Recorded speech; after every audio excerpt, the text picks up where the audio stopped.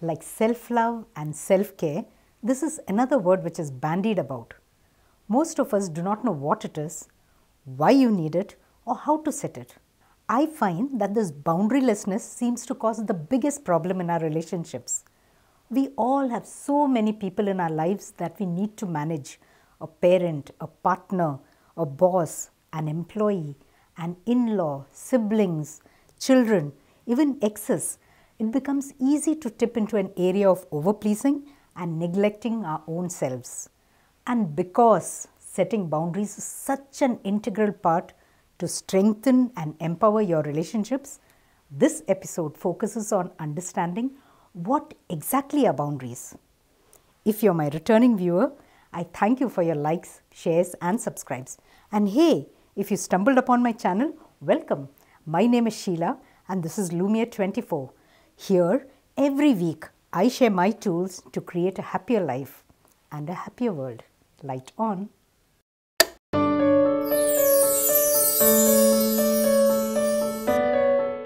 I have learnt more about the importance of boundaries in the past four years than in my entire life. My boundaries were vague and non existent, and they manifested in various ways.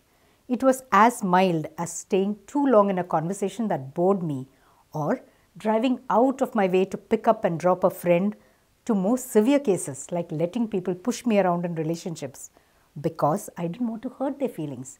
My feelings be damned. More people than not have no clue what boundaries are, when in fact it should be taught in schools along with our ABCs. A boundary is a declaration of who you are and what you value. And when we don't communicate what is important to us, what works and does not work for us, it creates a mess in every relationship in our life. So here's a quick check. When you think of a person and it brings stress, anxiety, or fear, or some kind of discomfort, it's a surefire indicator that there is some boundary being crossed and you have to take responsibility. I read somewhere that boundaries are not walls that we build around ourselves, it's a gate that lets toxicity out. Communication is key in relationships, and when we don't communicate about what we need or what we don't, it builds up a lot of anger, resentment, and makes us feel unworthy. If you leave a conflict wishing it spoken for yourself, if you overcommit to obligations and undercommit to activities that bring you joy, if you agree to be intimate with people and then later regret your decision or feel cheapened, if you say yes all the time, if you feel like no one cares about you, well, these are all situations that were brought about by not knowing your values. The number one thing you need to do to set boundaries is to get clear about your own worth. And I know this firsthand. When I felt that my self worth was dependent on another person, on whether they liked me, whether they were in a good mood, whether they were nice to me, and how they treated me, I was a very insecure person. I have learned this. I need to put on the oxygen mask first. Before you like me, I have to like myself. And this, my friends, is the basis of setting up healthy boundaries. The most important relationship you will ever have is with yourself.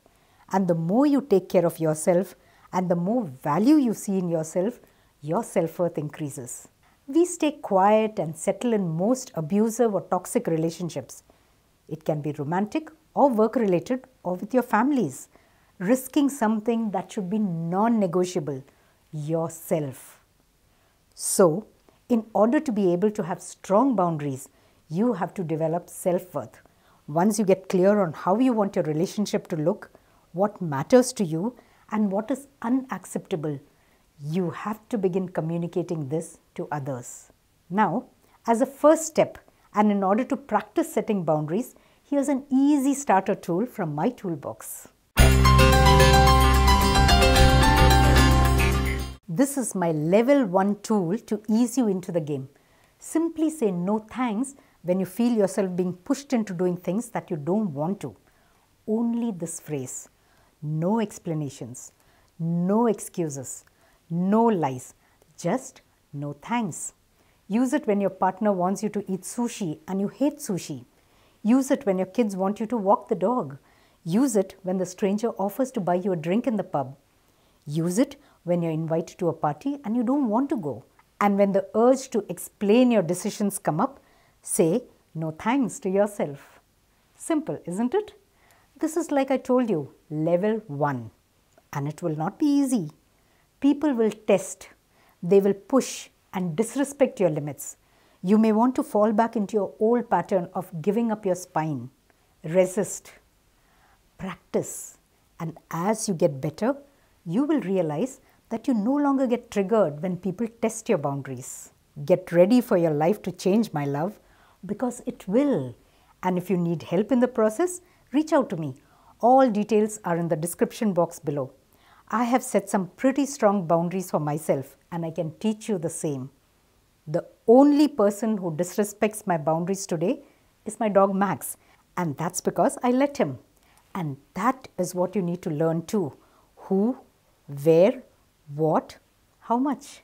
If you found this video helpful, give it a thumbs up and share it with people who seem to be struggling with this issue. Let's spread the light, folks.